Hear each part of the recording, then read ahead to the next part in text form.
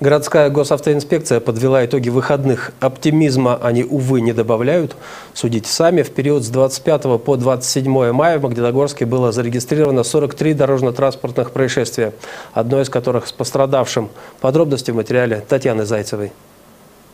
На своих экранах вы видите двор, где и произошла неприятная ситуация. 25 мая в половине девятого вечера в районе дома номер 141 дробь 2 по проспекту Маркса женщина 1973 года рождения, следуя на автомобиле Ford Focus по межквартальному проезду, наехала на девятилетнего велосипедиста, выехавшего с прилегающей территории. Мальчик получил травмы, ему назначено амбулаторное лечение. Инспекторы ГИБДД акцентируют внимание на том факте, что ребенок катался на велосипеде без сопровождения сопровождения взрослых.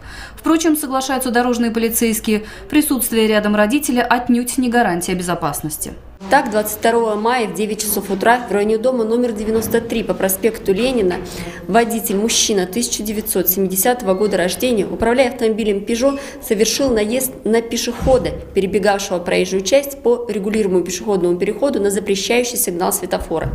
В результате наезда пешеход, мальчик 5 лет, получил телесные повреждения. Ему назначено амбулаторное лечение.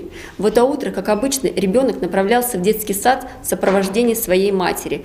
Дойдя до пешеходного перехода загорелся красный сигнал светофора. Женщина остановилась, однако она недостаточно крепко держала ребенка за руку, что позволило ему вырваться и выбежать на дорогу. Добежав до середины проезжей части, ребенок оглянулся, увидев, что нет матери, развернулся и побежал в обратном направлении. Вот именно в этот момент на него был совершен наезд автомобилем.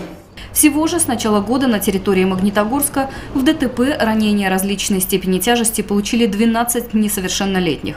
За аналогичный период прошлого года было ранено 15 детей и подростков. В школах уже начались летние каникулы, а значит вскоре все больше ребят будут предоставлены сами себе.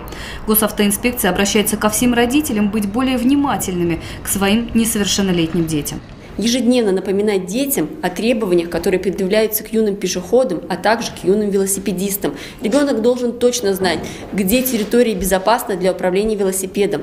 Также дети должны знать, что подъезжая к пешеходному переходу, ребенок должен спешиться и переходить проезжую часть, являясь пешеходом, а не велосипедистом. Татьяна Зайцева, Влад Набиев, телекомпания ТВИН.